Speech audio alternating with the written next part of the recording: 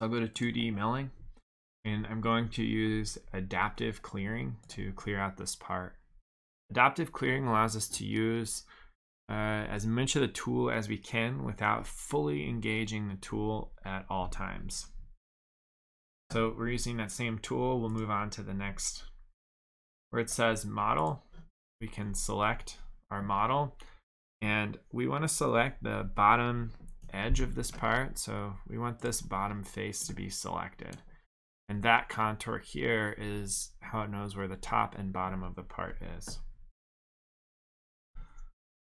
For the heights, where it says bottom from contour, that's good.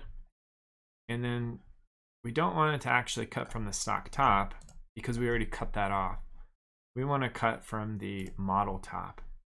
And then the same with the retract height, we can do model top, and then this will follow suit.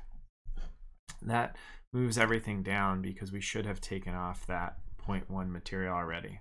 Move to the next tab. For our adaptive clearing, again, our optimal load is how much of the tool is engaged. We have a quarter inch tool, so I'm actually gonna lower this amount to 0.05. That means that 0.05 of the diameter of the tool is gonna be engaged. We do not want both ways because it'll rub against the tool. And then it's asking for a cutting radius. So if we have a really tight corner, we're going to leave it at the standard. We do have a tight corner inside of here. So this will actually look like a fillet and it won't be sharp like that. We need to do multiple depths.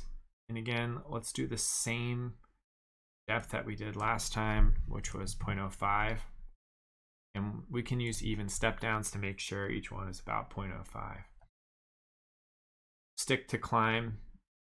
And we're going to uncheck stock to leave. Normally you'd want to do a finishing pass around this entire part just to clean it up, but we're going to uncheck that for now. On our linking tab, we'll go to stay down most. This will take a little bit longer to process, but when we go to cut, it's going to try to keep the tool engaged as much as possible without trying to move from side to side. Let's leave our lead ins and our ramps and see if we like that. A helix ramp is going to corkscrew down into the part. Um, the height of the corkscrew is 0.1. That's actually really high. So let's change that to 0.05. Okay. And then our helical ramp diameter has to be more than half the tool as well. We could select an entry position, but we're not going to. Uh, let's see what the standard options give us. Hit the check. It'll take a second to update. And let's look at what happened.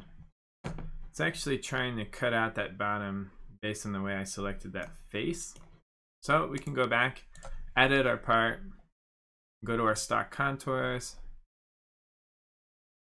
uh, for our stock contours, we should have probably selected each edge. So just go back, and if you select that edge, it should try to pick up that whole entire piece.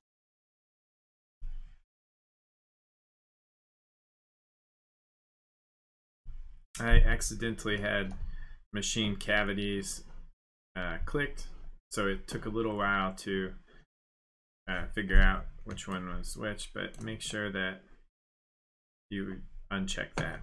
If you look now, we're uh, able to mill out this entire part here. So that builds all my paths. You see how this is going to take quite a long time to take away all this material. We can come in a little harder now. So let's go back to our adaptive path. Again, if you notice when I selected that contour, I need to turn off machine cavities let's go down and we're actually going to cut now for multiple depths. Since we have a one inch long cutter, I'm going to do all that in one pass. We're going to use the entire side of the end mill to cut. And this should be just fine on the end mill. So I'm going to check that. And then we can come in and cut this whole part in one pass, just like that. And that should be enough to fully make this side of this part. We'll still need to flip the part over and cut away the rest of the other material.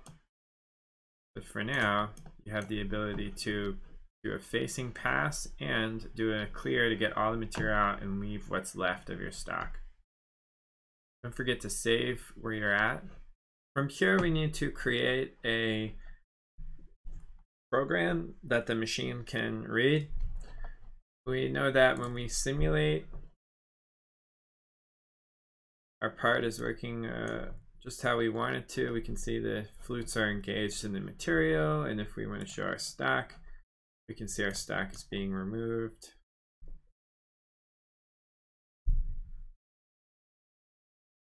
If you'd like to speed it up,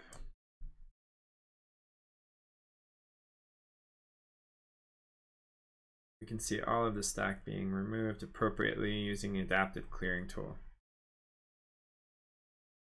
That gets us our full shape. Once we like our job, we need to post-process this. We don't have a, a machine to use, so let's click post-process. I'm sorry, before you do that, make sure you click the job. You want the face and the adaptive. If you just click adaptive, it's only going to post process that. So click job, and then we'll click post process. It's looking for posts in this folder.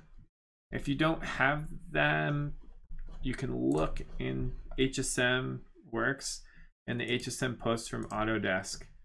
We're using uh, a CNC router parts mill, and if you click that, it gives you the actual post processor. This is all of the code that makes sure it takes your job and makes it readable by this machine. So you can download that and it's a CPS file and we'll just hit save. You can save it in this location or somewhere else on your computer. And notice how there's already quite a few. Otherwise, if you want to pull up an individual one that you've saved, you can go back to SOLIDWORKS.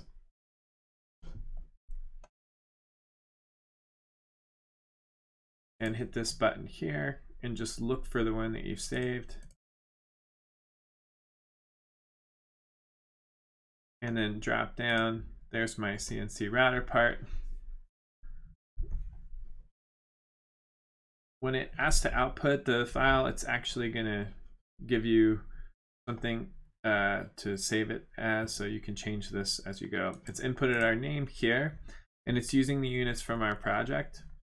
The last thing we can do is mess around with some of the things in the post processor. This is controls the machine itself. If you want to change the feed rate or um, the tolerance, you can you can do all kinds of stuff here. Uh, we won't mess with that. We'll just hit post. And then it asks us where to save. I'm going to save that on the desktop. And that should save as a tap file.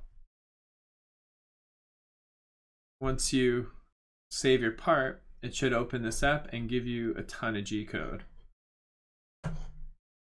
The G-code looks fairly complicated, but it's mostly just X and Y positions at this point, and then Z positions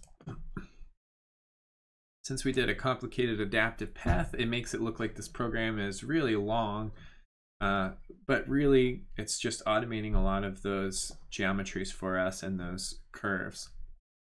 Right now, we're using some machine specific coordinates, and then we're selecting uh, G20, which is in inches. M5 is making sure that the spindle is off, and then we're using tool one, which is what we selected in HSM.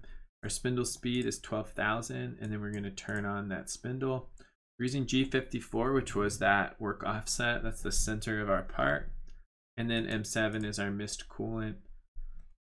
And we're gonna start moving towards our part, and then we'll start cutting. There's our 0.2 clearance height.